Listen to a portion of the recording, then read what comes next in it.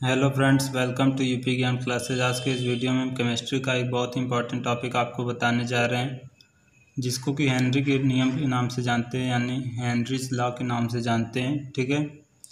Henry ने एक बहुत ही अच्छा नियम दिया था, जिसका कि हमारे दैनिक जीवन में बहुत ही उपयोग होता है, बहुत ही ज़्यादा उपयोग होता है, और ये हम देख भी सकते हैं, ठीक है? हेनरी ने हेनरी के, आइए देखते हैं, ठीक है? हेनरी के नियमानुसार, ठीक है, स्थिर ताप पर किसी गैस की द्रव में विलेयता गैस के दाब के समानुपाती होती है, ठीक है। स्थिर ताप पर, ठीक है, यानी कांस्टेंट कांस्टेंट टेम्परेचर पे कांस्टेंट टेम्परेचर पे क्या होता है दोस्तों?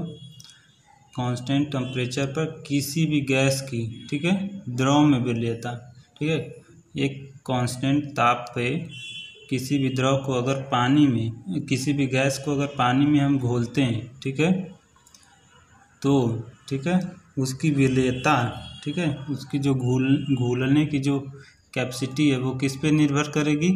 गैस के दाब पे निर्भर करेगी, ठीक है? वो गैस के दाब के समानुपाती होगी, ठीक है? जैसे जैसे हम लोग क्या करेंगे? दाब को बढ़ाएँगे, ठीक है? जैसे जितना भी हम लोग दाब को बढ़ाएँगे, गैस के दाब को जितना ज़्यादा हम बढ़ाएँगे और कॉन्स टेम्परेचर को कांस्टेंट रखेंगे, ठीक है? तो उतना ही तेज़ी से क्या होगा? हमारा जो गैस है, वो द्रव में घुल जाएगा। यानी कि अगर हम प्रेशर को बढ़ाते जाएँ, ठीक है? प्रेशर को बढ़ाएँ तो क्या होगा? तेज़ी से गैस, ठीक है? द्रव में घुलना स्टार्ट कर देती है। ठीक है? इस तरह हम देख सकते हैं दोस्तों। एम प्रोपोर्शनल टू पी ठीक है? यानी एम क्या है हमारा यहाँ पे? देख सकते हैं। घुली हुई गैस की मात्रा, ठीक है? घुली हुई गैस की जो मात्रा होती है, वो प्रोपोर्शनल होती है, ठीक है? ये देखिए प्रोपोर्शनल होती है पी के, यानी प्रेशर के। जो भी प्रेशर हम लगाते हैं, उसी प्रेशर के समानुपाती होती है या प्रोपोर्शनल होता है, ठीक है? अब अब देखिए यहाँ पे हम क्या करेंगे? यहाँ पे अगर हम प्रोपोर्शनल साइन को हटाते हैं तो एक कांस्टेंट लगाते हैं। कांस्टेंट हमारा के है। के को हम लोग हेनरी स्थिरांक या समानुपाती स्थिरांक के नाम से भी जानते हैं, ठीक है? के क्या है हमारा? हेनरी स्थिरांक या समानुपाती स्थिरांक।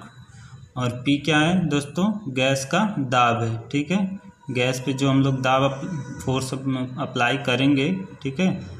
वो होगा गैस का दाब, ठीक है? जो भी, जितना भी गैस पे दाब होगा, उसी के अनुसार क्या होगा? हमारा गैस उसमें द्रव में घुलेगा, ठीक है? एम क्या है यहाँ पे? एम है घुली हुई गैस की मात्रा, ठीक है? इस तरह हम कह सकते हैं कि स्थिर ताप पर, यानी कांस्टेंट टेम्परेचर पर किसी द्रव की विलेयता, किसी गैस की द्रव में विलेयता गैस के दाब के समानुपाती होता है, यानी उसके प्रोपोर्शनल होता है, ठीक है? और ये देखो, ये आइडियल कंडीशन है, ठीक है? आइडियल कंडीशन ठीक है? आइडियल ये दोस्तों हमारा आइडियल कंडीशन है, यानी आदर्श, ठीक है? जिसको हम लोग आदर्श स्थिति में बोलते हैं, ठीक है? हिंदी में। और एक इंपॉर्टेंट नोट्स है यहाँ पे दोस्तों कि अक्रिय गैसों के लिए हेनरी नियतांक के का मान अधिक होता है, ठीक है? अक्रिय गैस कौन सी गैसें होती हैं? जैसे कि आप लोगों ने पढ़ा होगा, ठीक है? कि जो गैसें, ठीक है, क्रिया नहीं करती, ठीक है? दूसरों गैस, दूसरे, उनका जो क्या होता है? अष्टक पूरा होता है, ठीक है? उसके लास्ट लास्ट ऑर्बिट में क्या होते हैं? पूरे इलेक्ट्रॉन भरे होते हैं, ठीक है? अब वो क्या होता है? दूसरे दूसरे किसी परमाणु से एटम से क्या आ, क्या अभिक्रिया नहीं कर सकता है उनके साथ नहीं जुड़ सकता है ठीक है? जैसे हीलियम हो गया नियान हो गया ये सब गैसें जो हैं ठीक है? अक्रिय गैसों में आती हैं ठीक है? अक्रिय गैसों के लिए हेनरी नियतांक के का मान अधिक होता है ठीक है? ये जो कांस्टेंट के है उसकी वैल्यू क्या होती है अक्रिय गैसों के लिए? अधिक होती है। और जब अधिक होगी के की वैल्यू तो क्या होगा? आखिरी गैस कम घुलेगी, ठीक है? देखिए दोस्तों, यहाँ से क्या होगा? अगर के को हम लोग देखें के को इधर ही रहने दें, ठीक है? और इसको पी को उधर भेज दें तो क्या हो जाएगा? एम बाई पी यानी कि के क्या हो जाएगा? इनवर्स यानी वन बाई पी के, ठीक है? इसको हम क्या, इसको अगर मल्टीप्लाई में देखें तो इसको ऐसे लिख सकते हैं।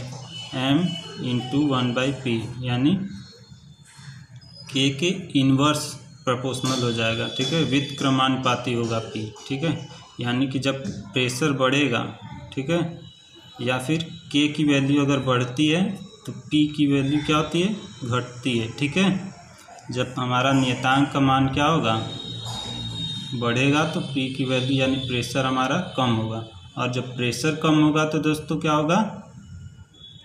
कि हमारा जो गैस है, वो द्रव में कम घुलेगा। ठीक है? इसीलिए हम लोग क्या कह सकते हैं कि अक्रिय गैसों के लिए हेनरी नियतांक के का मान अधिक होता है।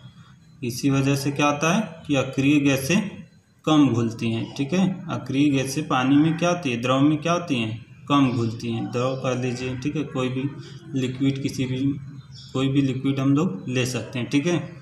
और सेकेंड नोट्स क्या है दोस्तों? ताप बढ़ने से हेनरी नितांक के का मान बढ़ता है, ठीक है? अगर हम टेम्परेचर को क्या करें, बढ़ा दें, ठीक है? तो के का मान बढ़ता है, ठीक है? तो हमारा जो कांस्टेंट हेनरी नितांक है, उसकी वैल्यू क्या होगी? बढ़ने लगेगी। के का मान बढ़ने से गैसों में द्रव की विलेयता कम हो जाती है। जैसा कि हमने बताया कि के जब बढ़ेगा तो पी कम होगा, ठीक है? तो इस वजह से क्या होगा? गैसों की द्रव में विलेयता कम हो जाती है। ठीक है? और इसका एक रीजन हम लोग उदाहरण क्या देख सकते हैं? ठीक है? इसका एक उदाहरण हम अपने दैनिक जीवन में क्या देख सकते हैं कि इसी वजह से, ठीक है? इसी कारण की वजह से क्या होता है कि जलीय जंतु गर्म जल की तुलना में, ठीक है? ठंडे जल में अधिक सुविधाजनक स्थिति में रहते हैं, क्योंकि ठंडे जल में ऑक्सीजन अधिक घुलती है, ठीक है? यहाँ पे क्या होता है? टेम्परेचर हम लोग का क्या हो जाता है? कम हो जाता है, ठीक है? टेम्परेचर कम हो जाने से क्या होगा? के की वैल्यू क्या होगी? कम हो जाएगी, ठीक है? के की वैल्यू कम होगी तो प्रेशर क्या होगा? बढ़ जाएगा। और जब प्रेशर बढ़ जाएगा तो हमारा गैस जो है, अधिक घुलना स्टार्ट हो जाएगा। यानी ऑक्सीजन क्या होगा पानी में? और भी अधिक घुल जाएगा।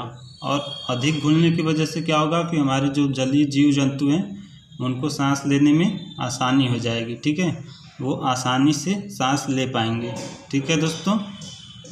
और देखिए, यहाँ पे मैंने एक फिगर बनाया आपको समझने के लिए। ठीक है? यहाँ पे आप देख सकते हैं। यहाँ हमारा क्या है? गैस भरा हुआ है। ठीक है? यहाँ पे हमने गैस भर दिया। एक पूरा जार है। ठीक है? जार ही मान लेते हैं। ठीक है?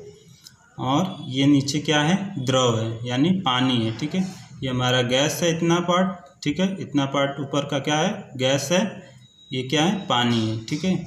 यहाँ पे हम लोग जो प्रेशर अप्लाई कर रहे हैं दोस्तों, एक बार, ठीक है? प्रेशर को हम लोग बार में नापते हैं, ठीक है? एक बार प्रेशर है, ठीक है? तो इस वजह से हम लोग क्या देख पा रहे हैं? इसमें गैसें क्या हो रही हैं? प्रेशर कम होने की वजह से कम घुली हैं। और नेक्स्ट फिगर में हम लोग क्या देख रहे हैं? कि ये जो गैसें हैं, ठीक है? वो प्रेशर, यानी टू बार प्रेशर है इस पर ठीक है? प्रेशर यहाँ पे अधिक है। इस वजह से क्या हो रहा है कि पानी में, लिक्विड में ज़्यादा गैसें घुली हुई हैं? देख सकते हैं यहाँ पे क्या है? बूंदें आपको ज़्यादा दिखाई गई हैं, ठीक है? इसका मतलब क्या कह सकते हैं? गैस की जो एटम्स हैं, ठीक है? ये क्या है? गैस के एटम्स हैं, ठीक है? ये क्या हो रहे हैं? ज़्यादा घुले हुए लिक्विड में, ठीक है? अतः हम कह सकते हैं कि प्रेशर बढ़ाने से क्या होगा? कांस्टेंट टेम्परेचर पर प्रेशर बढ़ाने से, ठीक है? गैस, गैसों का द्रव में जो घुलना होता है, वह बढ़ जाता है, ठीक है? अतः इस तरह से हम समझ सकते हैं कि स्थिर दाब पर किसी गैस की द्रव में विलेयता गैस के दाब के समानुपाती है, होती है। आज के लिए इतना ही दोस्तों, ठीक है? मिलते हैं नेक्स्ट वीडियो में। और अगर आपने हमारे चैनल को सब्सक्राइब नहीं किया है तो सब्सक्राइब कर लें, ताकि जो भी लेटेस्ट नोटिफिकेशन है आप तक पहुँच सके। तब तक के लिए धन्यवाद।